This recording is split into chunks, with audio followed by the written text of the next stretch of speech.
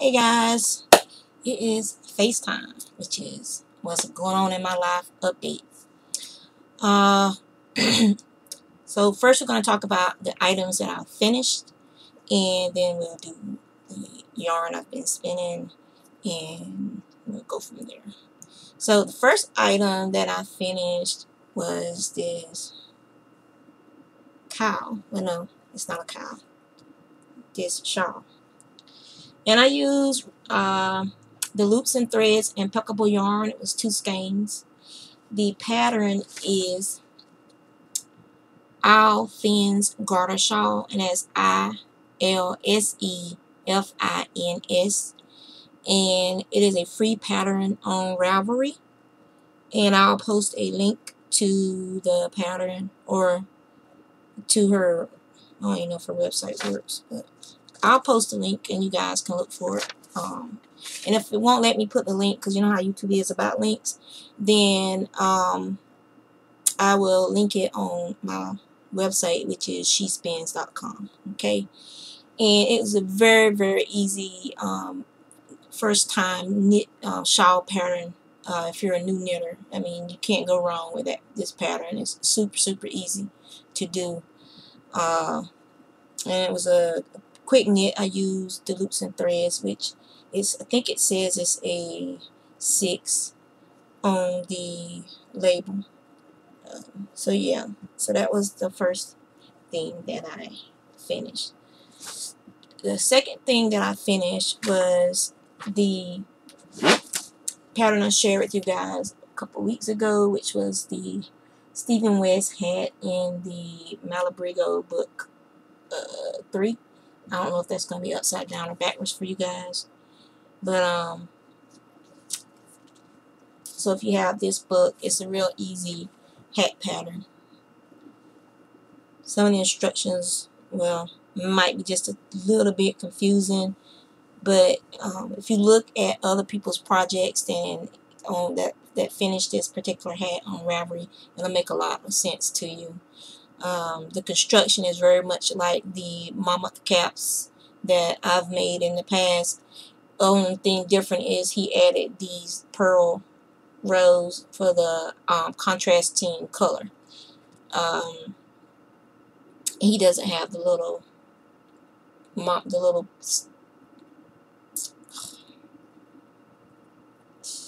can't think what it's called right now. A little, there's like a little tail that sticks up on the mammoth caps. And also on the mammoth caps, I usually do like a little hook loop on the inside so you can hang it up, hang the head up on a um, peg.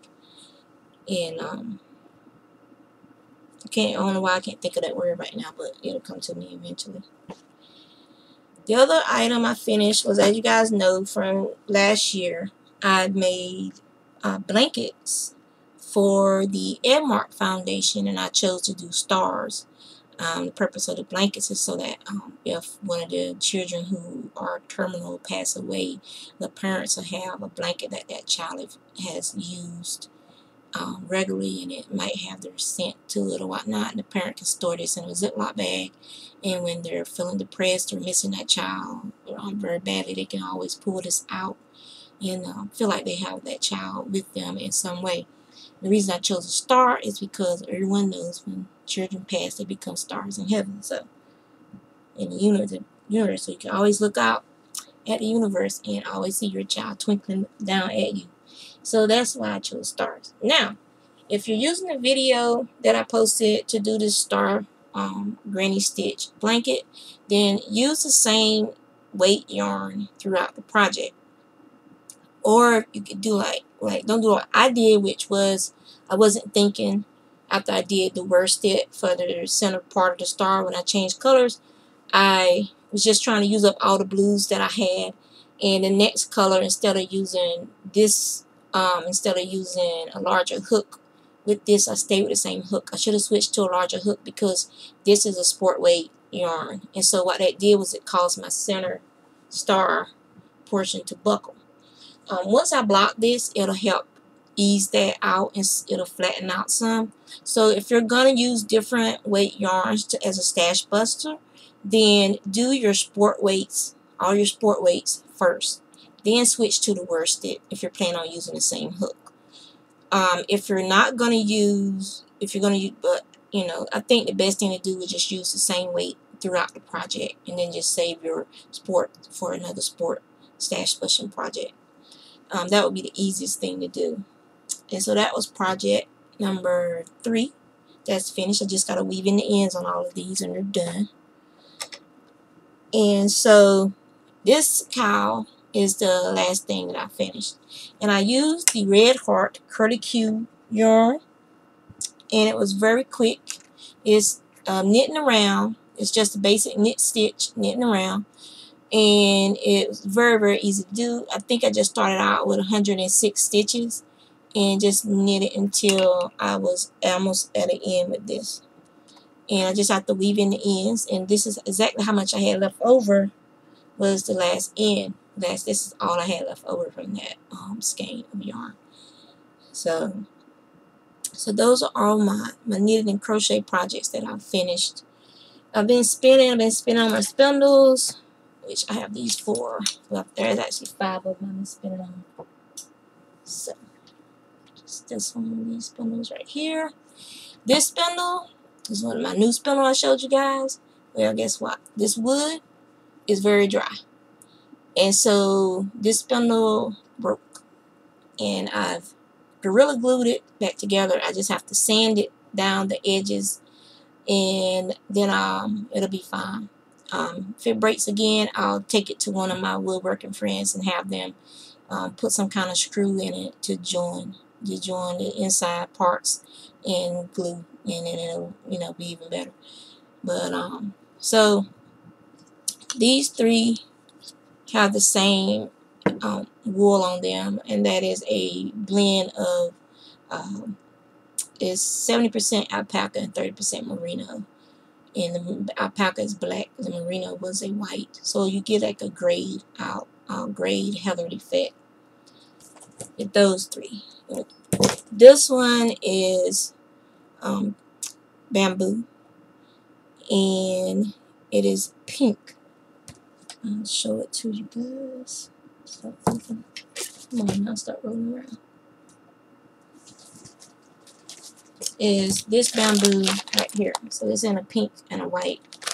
And I bought this uh, a couple years ago. I think about two years ago. And it's called Sorbet. It's hand painted bamboo top. It was four ounces originally. I've already spun two ounces of it and it is made by chimera.etsy.com and it's chimera c-h-i-m-e-r-a so that's who I pur purchased it from on Etsy a couple years ago I haven't checked so I don't know if her shop is still open or their shop as the case may be because there's a lot of men dyeing now as well but it's, it's very easy it's a very easy spin um, yeah, here's the part that I've been spinning on one of my um, wrist staffs spinning wheel.